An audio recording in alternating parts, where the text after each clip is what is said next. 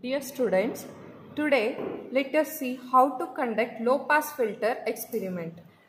Aim of this experiment is to design the second order Butterworth low pass filter for given cutoff frequency of cutoff frequency it is denoted by FC that is equal to 1 kilohertz. So what, that, what does it mean? So let us observe this curve. So this is the nature of the curve. Since it is a low pass filter, till cutoff frequency, this is a cutoff frequency. So whatever the signal we give, so that must be passed. So that output we are getting only until this cutoff frequency. After that, we are not getting the signal. So gradually its amplitude will decrease and finally we are not obtaining the output after this cutoff frequency. So this is what low pass filter. If high pass filter means, so we are getting the signal only after this cutoff frequency. So we have actually four type of filters, low pass filter, high pass filter, band pass filter and band reject filter. So now we are conducting the experiment of this low pass filter and this is the nature of the graph. Okay, so let us see what are all the apparatus required for this experiments. We need a op-amp that is IC741 op-amp 1 and then resistor of 10 kilo ohm and 15 kilo ohm. Hope you all are known about the color code of 10 kilo ohm and 15 kilo ohm. So we need 10 kilo ohm and 15 kilo ohm resist resistors of 2 each. Then we have a capacitor of 0.1 microfarad. Its number is 103. Then we need a signal generator and then a CRO and then a fixed power supply. Okay, and then breadboard, CRO probes and connecting wires. Right. So cutoff frequency is given by this expression Fc is equal to 1 over 2 pi r into C. So this is the circuit diagram to conduct the experiment. So here this is our 741 IC. Okay. So 10 kilo ohm resistors is connected to ground from this terminal 2 and terminal 2 to 6 it is connected. Another 10 kilo ohm resistance terminal 3 to 1 and 15 kilo ohm resistance. And again another 15 kilo ohm resistance connected in series. And then we are connecting our input. We are feeding input to this end terminal of this resistance. At other end of the input is given to ground and here we are connecting 0.1 microfarad from this terminal to 6 and this terminal to ground from terminal 3 to ground we are connecting one more capacitance that is 0.1 microfarad. So here at the terminal 6 we are connecting the CRO output. So if we uh, look at the design of this experiment, so we have a gain that is we assume the game uh, gain we have set the gain of 2. So that means that if I give an input of 1 volts, so I should get the output of 2 volts. If I give the input of 2 volts as an input, so I should get the output of 4 volts like that. So whatever we give the input that must be doubled. So that it says gain is equal to 2. And then cutoff frequency we have designed for 1 kilo ohm. So then, so these are the, what kind of op amp it is? It is a non-inverting op amp. So why it is a non-inverting op amp? Because we are giving input only to the non-inverting terminal of the op amp. This is a positive terminal which is nothing but non-inverting terminal. So here we are providing the input, right? So here we are feeding the input. That's why it is called as non-inverting op amp. So for this non-inverting op amp, we know that gain of non-inverting op amp is given by 1 plus RF by R1. As you know what is the gain of inverting op amp? If we give input for the inverting terminal what is the gain? Minus RF by R1. So here but here we are using non-inverting op amp. We know non-inverting op amp gain is 1 plus RF by R1. So what is the given data? Gain is 2. So we are substituting that. So here we will get the ratio RF by R1 what is RF by R1? 2 minus 1 that is 1. So we should choose the resistance such that RF is equal to R1. So hence we choose RF is equal to R1 is equal to 10 kilo ohm in our experiment. So and then Cutoff frequency is given by this expression 1 over 2 pi under root of R1 into R2 into C1 into uh, C2. Right. So we choose R2 is equal to R3 is equal to R that is same resistance and the capacitance value is also same. So this cutoff frequency expression will reduce to this expression that is 1 over 2 pi R into C. So then let us assume the capacitance of 0.01 microfarad. Okay, then we will find out what is this unknown resistance R that is to be connected in the circuit because already we know what is the cutoff frequency. So therefore this is the resistance value we are obtaining when we substitute everything in this everything in this expression. C is uh, assumed as 0.1 2 pi okay FC is however 1 kilohertz. So if we substitute we are obtaining R of 15 kilo ohm. So both resistance R2 and R3 we are connecting as 15 kilo ohm. So this is all about the design aspect. So now let us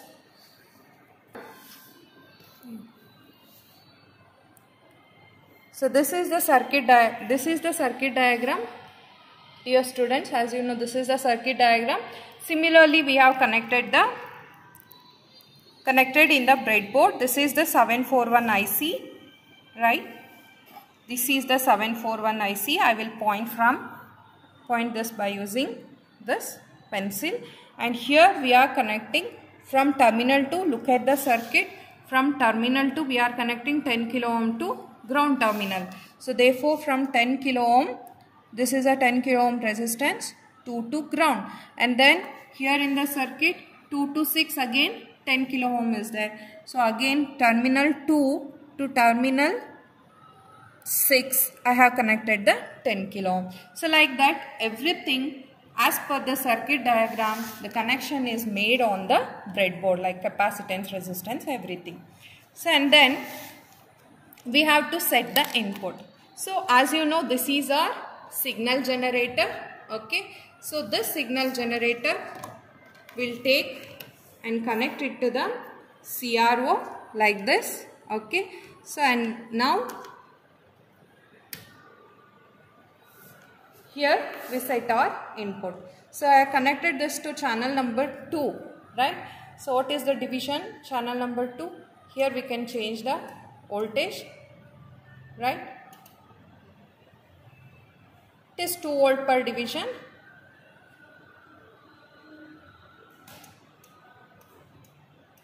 One volt per division right? So it is already set. Okay so our input is set to 1 volt right? Okay so this is our the signal generator. So now so now we are connecting this input where this input sh uh, should be connected according to circuit diagram. So input from the signal generator, from the signal generator we are connecting it, to other end of the 15 kilo ohm. So here comes our 15 kilo ohm. From the signal generator we are connecting this. Okay. So and output, uh, output from the CRO is drawn at pin number 6 of the op amp. So this is op amp pin number 6. So now the supply is given.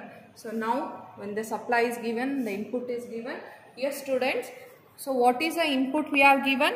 1 volt per 1 volt as the input. You can check here, channel 1 we are uh, checking our output. So what is the output we are getting? This is 1 division, this is 2 division. So what is per division? How many volts? 1 volt. So what is the output now? 2 division into 2 that is we are getting 2 volts as the output. But what is the input we have provided? We have provided the input of only 1 volt. Now we are getting the output of 2 volts as the output. So that is according to this that is we have a gain of 2 which is met here. Okay? Right? So now let us see the conduction part. So what is the frequency? First we'll keep for 10 so in uh, 100 kilo ohm 100 hertz range. So the frequency is varying here. So when it is 60 hertz what is the so this is the output. So what is the amplitude? That is 2 volts only. So here we'll come for the tabular column. Okay. So first, let let me keep in one kilo one kilo hertz range. Okay.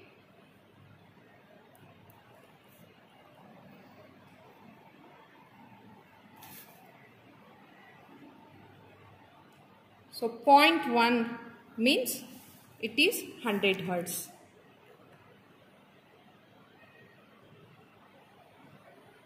Since it is in 1 kilohertz range, so it is 0.1 means 100 hertz. For 100 hertz, what is the output we are getting? That is 2 volts. So let me write here output voltage is 2 volts. So now I will increase. So for 200 hertz, what is the output we are getting? Again 2. So we are taking 2 volts as the output. So like this we will increase. Okay. So we will increase increase the frequency and similarly we'll see so it is almost constant so if any variation is there then we are noting it down. So dear students now it is decreasing right? So we need to note down. So we need to clearly concentrate at the output okay? So now at what point it is decreasing? 2 2 volts 2 volts so now it is decreasing so what is the output now? 1.8 right? So it is we are not getting 2 volts instead we are getting 1.8 for what frequency? That is 7 740 so we are getting 1.8 volts right? So next again I decrease, again I increase the frequency. So again it is decreasing. Somewhere near 850 volts. So we are getting this output. So what is this? How much we are getting? 1.1.6 right? Right? So this is 1 volts. Okay. 1.2, 1.4, 1.6. So we are taking for 1 kilohertz we are writing so not 1 kilohertz for what frequency 850 hertz we are writing how much 1.6 volts. So next we'll again increase the frequency. So when it is close to 1 kilohertz again it is decreased right so at 1 kilohertz we are getting almost 1 point. This is one division 1.2 1.3 1.3 volts. Okay. So again if we increase